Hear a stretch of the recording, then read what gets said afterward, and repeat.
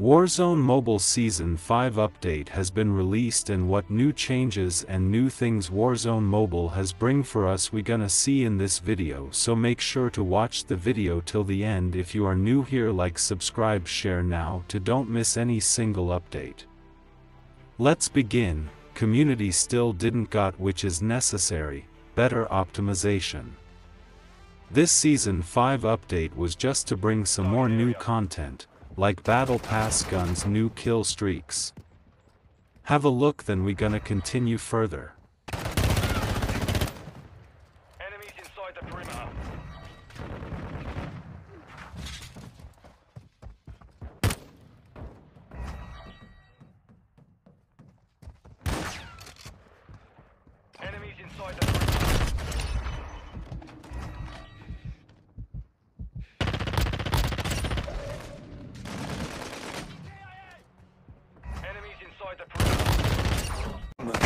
I need air support now!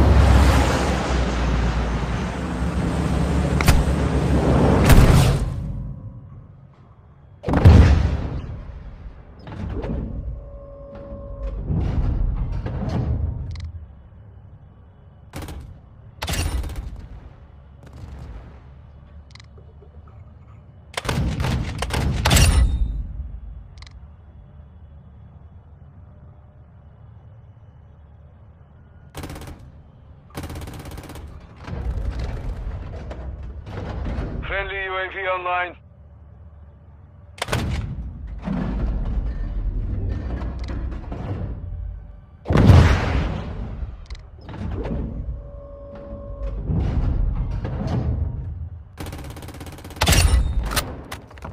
El área.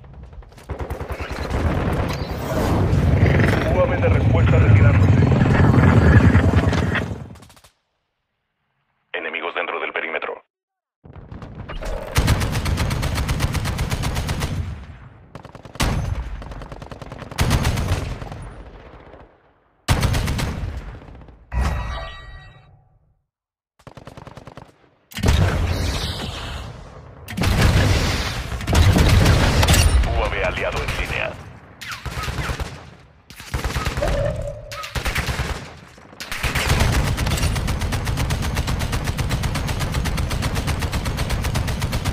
Estamos avanzando. Mantengamos la presión, camaradas. UAV enemigo activo.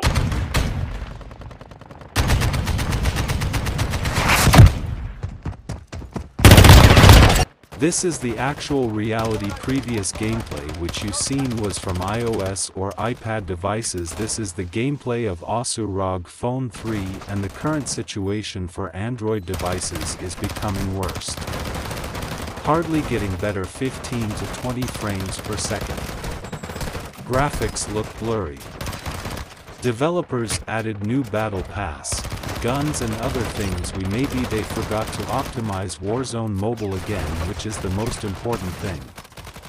If you are making Warzone mobile only for iOS then it's fine but majority players has low-end device.